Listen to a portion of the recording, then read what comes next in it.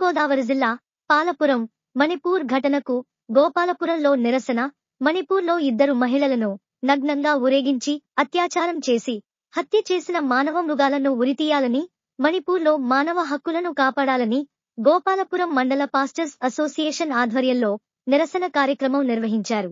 ఈ కార్యక్రమంలో తానేటి రాజు ప్రెసిడెంట్ సుధాకర్ దాసన్న కృపవరం తదితరులు ఉన్నారు.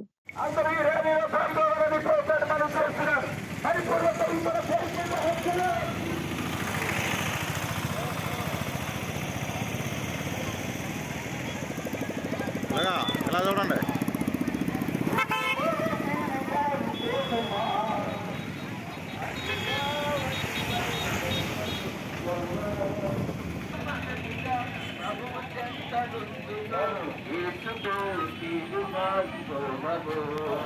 ఆనండి